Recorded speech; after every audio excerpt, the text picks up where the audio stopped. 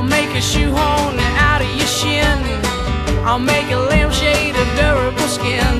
No, don't you know that I'm always feeling able when I'm sitting home and I'm carving out your navel. I'm just a sitting here carving out your navel.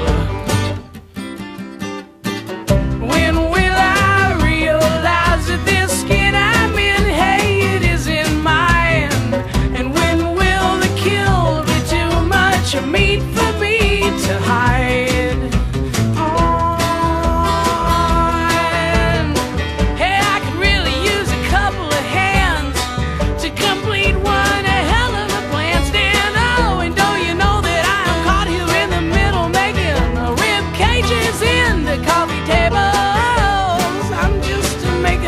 coffee tables.